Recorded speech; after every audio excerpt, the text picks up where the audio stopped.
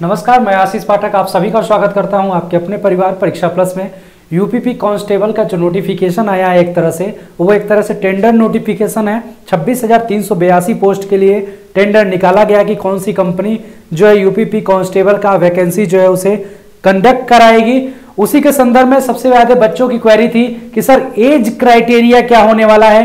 क्या इस बार ईडब्ल्यू को रिलैक्सेशन के बेसिस पर एज में भी रिलैक्सेशन मिलेगा?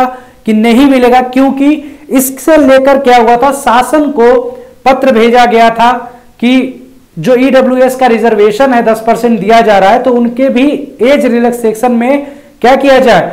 भी काम किया जाए, जैसे ओबीसी है एस सी है, उनको सीट में तो रिजर्वेशन मिल ही रहा है, उनको एज में भी मिल रहा है तो ये ईडब्ल्यू के बारे में बैठे तो अब देखते हैं क्या होगा, ठीक है? तो अभी हम बात कर लेते हैं एज क्राइटेरिया में, जो सबसे ज़्यादा बच्चों के सवाल हैं। तो एज क्राइटेरिया में आप देखो मेल की जो एज चाहिए कांस्टेबल के लिए 18 से 22 साल चाहिए। किसके किसके लिए? ओबीसी यूआर देखो 18 से 22 कितने के लिए चाहिए? यूआर के लिए, जो होंगे, आपके जनरल कैटेगरी जो होंगे।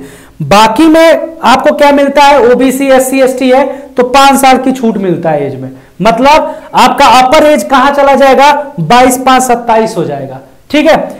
लेकिन अगर भूतपूर्व सैनिक है तो यहाँ तीन साल का आपको एज रिलैक्सेशन मिलता है और होम गार्ड है तो तीन साल का मिलता है। तो अपर एज हो जाएगा आपका बाईस, तीन, पच्चीस और इसके होमगार्ड वालों के लिए भी 25 हो जाएगा। महिलाओं के लिए जो एज है वह 18 से 25 होगा जनरल के लिए। ये जनरल के लिए 18 से 25 होगा। बड़ी बात है कि ईडब्ल्यू e को मिलेगा कि नहीं मिलेगा एज रिलैक्सेशन ये पता चलेगा नोटिफिकेशन आने के बाद। क्यों क्योंकि ये जो था, शासन को इसके अकॉर्डिंग जो है पत्र भेजा गया था कि भैया आप इस पर अमल करिए। देखते हैं अब क्या निर्णय शासन का होता है। इसके बारे में अभी कुछ कहा नहीं जा सकता है। ठीक है? हो सकता है मिले भी, हो सकता है ना भी मिल जाए। ठीक है? तो ये ध्यान रखिएगा। तो जनरल का मेल 18 से 22 फीमेल 18 से 25 और रिलैक्सेशन यही है, पाँच साल, तीन साल। ठीक है? ओबीसी एस सी के लिए पाँच साल रिलैक्सेशन है, भूतपूर्व सैनिक तीन साल होम गार्ड के लिए तीन साल है। फ़िज़िकल स्टैंडर्ड की बात कर लिया जाए तो मेल में यू आर ओबीसी और एससी के लिए जो हाइट चाहिए, क्या चाहिए? जो हाइट चाहिए आपका वो कितना होना चाहिए? एक सौ अड़सठ सेंटीमीटर होना चाहिए और एसटी के लिए अलग से है 160 सेंटीमीटर होना चाहिए। ठीक है?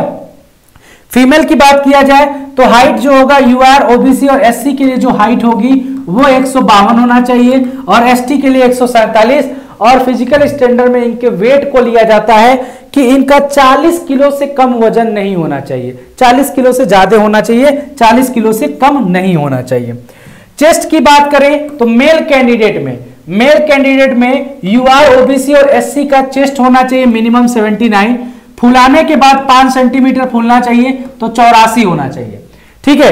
एसटी की थोड़ा कम रखी गई है 77 और फुलाने के बाद बयासी होना चाहिए। फीमेल में चेस्ट का कोई नहीं है।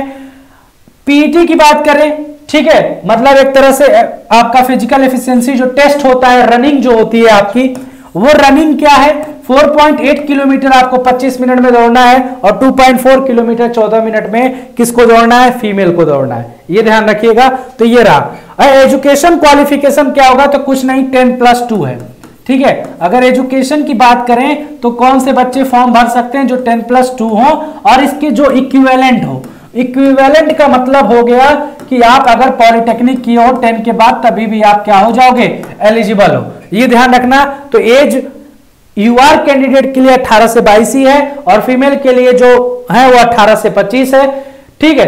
पिछली बार वैकेंसी में कुछ जो है आपको रिट्स जो दायर किए थे, उनको कुछ रिलैक्सेशन मिला था और इस बार ये कहा गया है कि ईडब्ल्यूएस e के लिए भी हो सकता है एज रिलैक्सेशन मिले।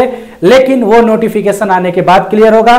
चलिए, इसी के साथ जो भी आपकी क्वेरी होगी और जो बच्चे नए होंगे चैनल पे, वो चैनल को ज़रूर सब्सक्राइब करिएगा। आपका कांस्टेबल से अकॉर्डिंग जो भी प्रश्न होंगे, वो प्रश्न आप इस वीडियो के कमेंट बॉक्स में कमेंट करिएगा। टीम पूरी कोशिश करेगी आपके सभी प्रश्नों का जवाब दिया जाए। इसी के साथ मैं आप सभी से विदा लेता हूँ। आप सभी का बहुत बहुत धन्यवाद।